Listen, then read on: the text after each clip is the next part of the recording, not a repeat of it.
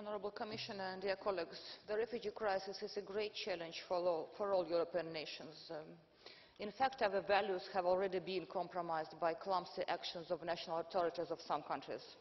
We should not sacrifice our values in the name of security and public order because they both are actually based on the respect for human dignity and fundamental rights.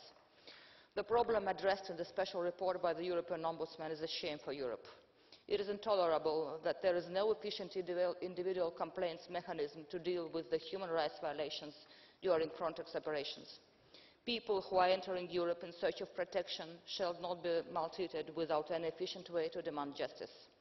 The refugee crisis is a proof of European ability to protect its values, to respect fundamental rights.